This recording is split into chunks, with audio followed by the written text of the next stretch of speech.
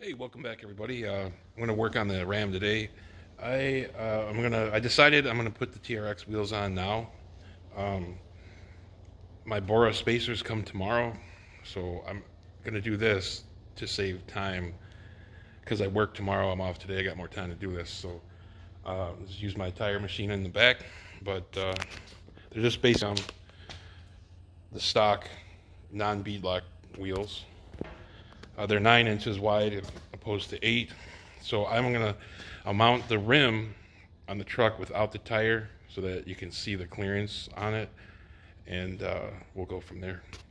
Decided that I'm gonna put the black or uh, I'm gonna put the white letters in instead uh, instead of the white letters out, um, just to change that look a little. Here they are, just on without the tire, and we have plenty of room here, so they will fit without any spacers. Now I'm putting spacers on anyway because I want the wheels flush to this, but uh, I just wanted to show that. I got the front two done. The back two I'm going to do at the same time. Uh, I think I like it a lot better with the black walls out. Yeah, I have to clean them up a little bit, but um, the back I got jacked up. I'm going to do both at the same time this way I can show you the difference with that tire with the 8 inch wheel and the 9 inch wheel.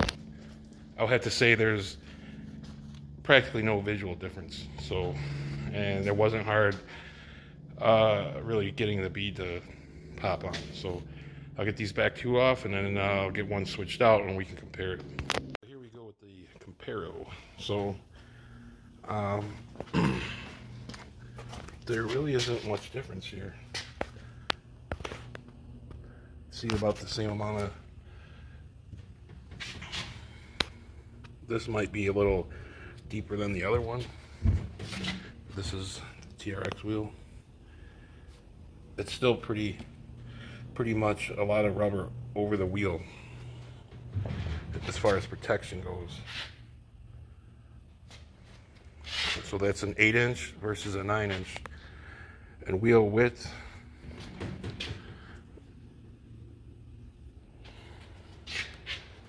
Here's back to back. It's virtually to the eye, I would say no difference.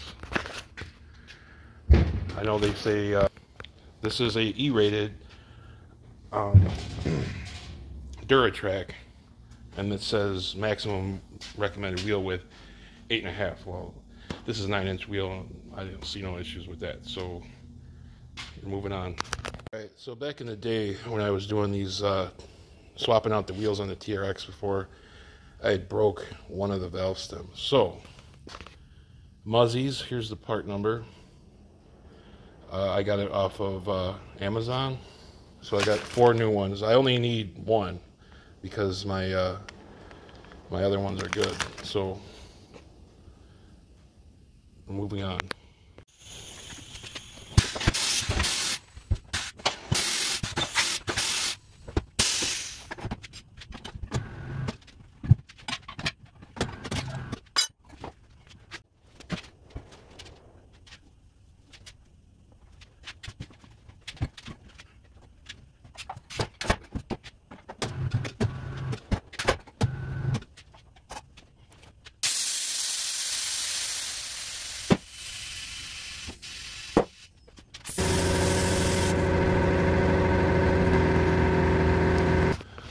Not like pretty much with all the tires I've done lately, I use this bubble balancer.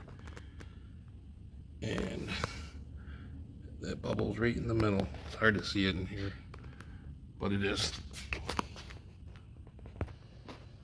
All right, they're all mounted. I'm gonna pull it outside to get a better look at it.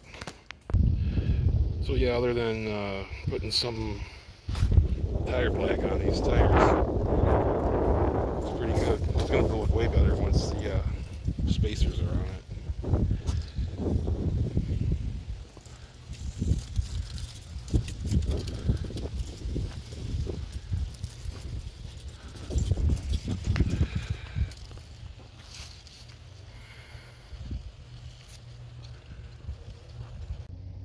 Alright, So uh, everything's good with the tire sensors.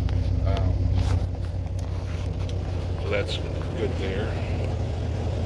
So I'm pretty happy with the way this thing looks.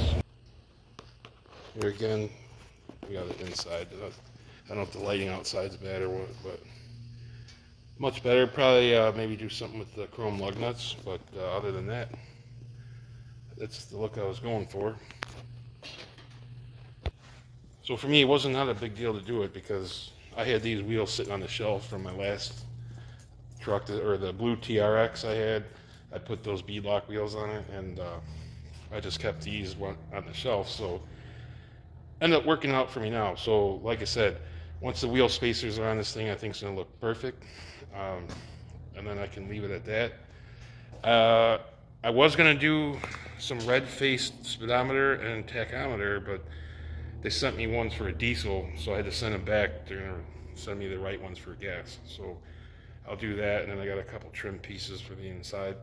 Um, I not sure what uh, else I was going to do with this right now, but for now, that's all I got. So please like and subscribe, and we will catch you on the next one.